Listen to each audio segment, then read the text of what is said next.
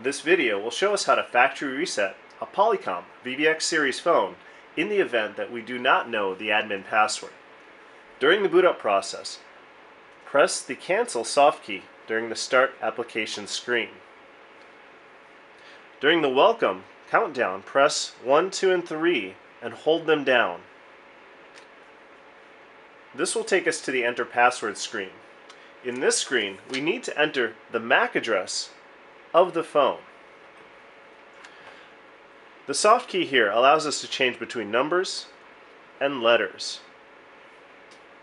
I'll start by entering 0004 and then F is the next in the password. So I need to go and change that to letters.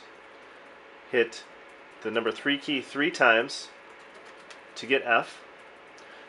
Switch back to numbers 2, switch back to letters, A, switch back to numbers, 9, switch back to letters, and it's E, so I need to hit the 3 key two times, switch back to numbers, 5, again it's E, and then A.